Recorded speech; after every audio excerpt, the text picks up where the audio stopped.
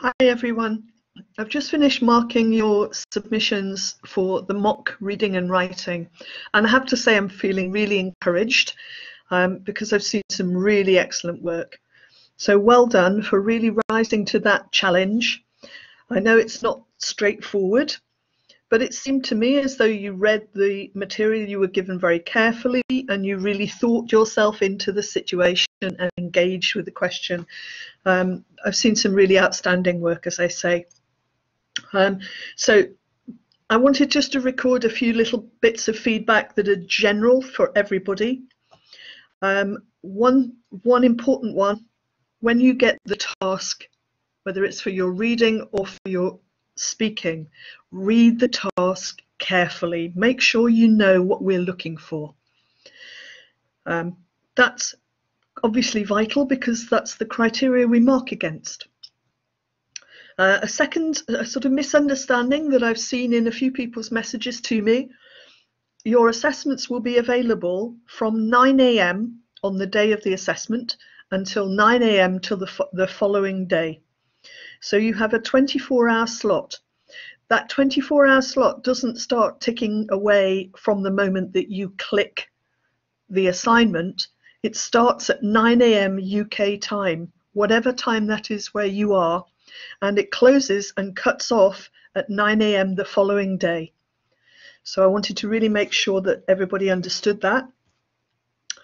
Um, and uh, another couple of little notes for the, um, particularly for the reading and writing, but also uh, may apply to the speaking as you prepare your thing. We're expecting you, because this, this is an open book exam in effect, in other words, you can access your Google Translate if you really must. You can access dictionaries.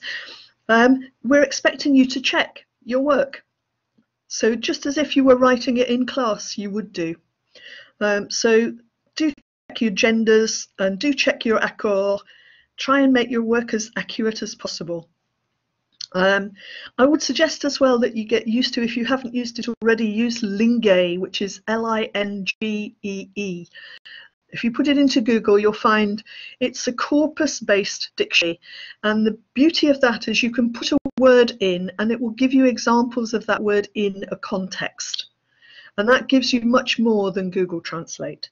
So yeah, get used to it. It's a really useful tool. It will be useful throughout your use of language in the future as well. Um, clearly, you have a 24 hour slot for both of these assessments. Use that time to prepare, spend it wisely. I don't think it'll take you the full 24 hours, but you know, maybe you're getting up very early in the morning or you've got other things to do during that day.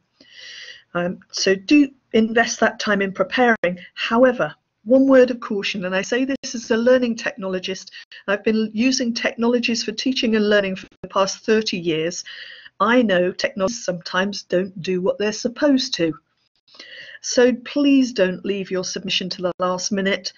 When systems are under a barrage of submissions, that's when they're most likely to fail. So, you know, try and pace yourself and when you're happy with the work you've got, make sure you click submit. Very important, otherwise it will only be a draft. Make sure you click submit.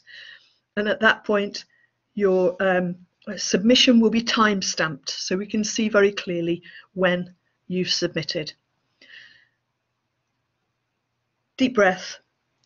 Enjoy what you're doing. I know it's hard, but you know, we try to put together activities that hopefully you'll enjoy and they won't be uh, zapping your energies because we all need as much energy as we can get these days. I really look forward to marking it. I hope I have just as much enjoyment marking it as I have with your mocks. Thank you so much for doing such a good job.